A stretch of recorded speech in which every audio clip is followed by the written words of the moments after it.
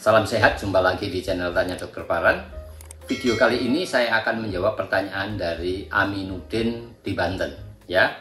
Yang bertanya, "Dok, apakah saya uh, saya penderita wasir, apakah penderita wasir itu boleh makan mie instan, nasi goreng, mie ayam, apalagi ya banyak yang ditanyakan makanan-makanan ini apakah boleh sih makan makanan itu ya Sebelum uh, saya menjawab pertanyaan dari Aminuddin di Banten, saya ingatkan teman-teman yang mau bertanya silahkan tulis di link ceritanya Dokter Paran dan saya akan jawab dan upload di channel YouTube Tanya Dokter Paran ya.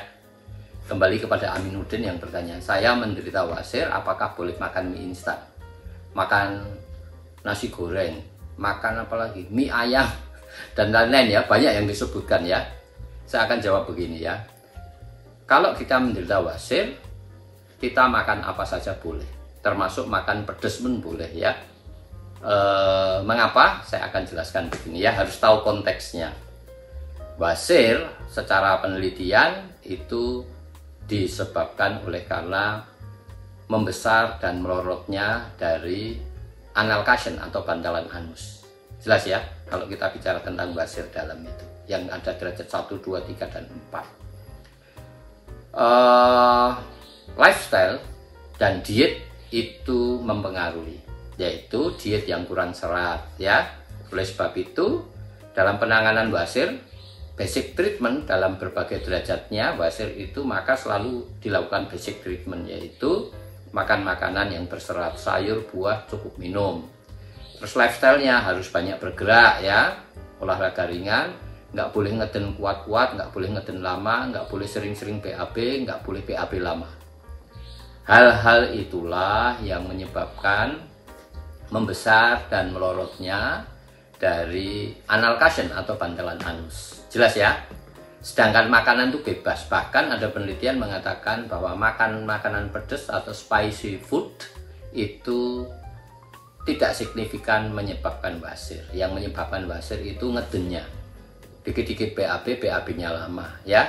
Jadi kalau kita makan pedas misalnya ya, eh, maka anus kita kan masih rasanya pedas. Cenderung kita diam di toilet lama untuk sampai anus kita nyaman. Sampai anus kita nyaman itu menyebabkan kita banyak ngeden. Oleh sebab itu kalau kita makan pedas besoknya eh, BAB dan masih kepedesan, sesudah BAB keluar kita tidak boleh berdiam di toilet ya. Harus segera keluar dan menunggu nyamannya di luar toilet. Jangan sambil nongkrong menunggu karena itu lama dan banyak ngedennya banyak ngedennya inilah yang menyebabkan resiko terjadinya wasil. Jelas ya? Jadi makan apa saja boleh ya. Menurut saya makan apa saja boleh berdasarkan penelitian. Yang tidak boleh yaitu BAB keras ya. BAB lama dikit-dikit BAB ya ngeden kuat-kuat ngeden lama ya oleh sebab itu mau makan apa saja serat harus dimakan juga minum cukup olahraga cukup tidak boleh lama BAP, tidak boleh nongkrong lama, nggak boleh sering-sering BAP, nggak boleh ngeden kuat, nggak boleh ngeden lama-lama.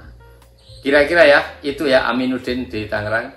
Silahkan kalau mau makan mie instan, mie ayam, nasi goreng, dan yang lain-lain yang Anda sebutkan ya, yang saya tidak bisa sebutkan satu persatu ya karena uh, banyak item ya yang uh, yang Aminuddin sebutkan ya.